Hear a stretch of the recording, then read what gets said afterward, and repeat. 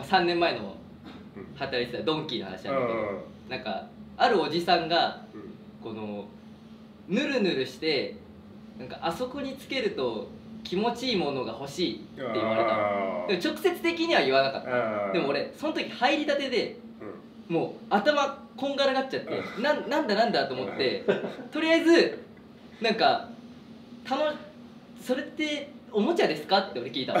そしたらおおもちゃおもちゃ。楽しい楽しいみたいなこと言ってたから、うん。俺スライムを勧めたスライムを勧めてでそしたらなんかこう「うーん」みたいな「これは床につけたらどうなるの?」みたいな言われてあ「あ床につけてでも遊びますよ」みたいな。多分こうパッペタペタやってみたいな。うん「あそうなんだ。ううんでもちょっと俺が想像してるの違うな」みたいな。だよな違うよな。そしたらね結構そんなやり取りをうん。10分ぐらいしてたらもうさすがにヘルプの人来てくれて。あでそのおじさんが説明したら「あこっちアダルトコーナーですね」みたいな。うんでこうローションあ取ってこう俺にこうレジ行く際にこう見せつけてきたこれだよこれみたいなと思ったらうん。あの左手にスライム持ってて。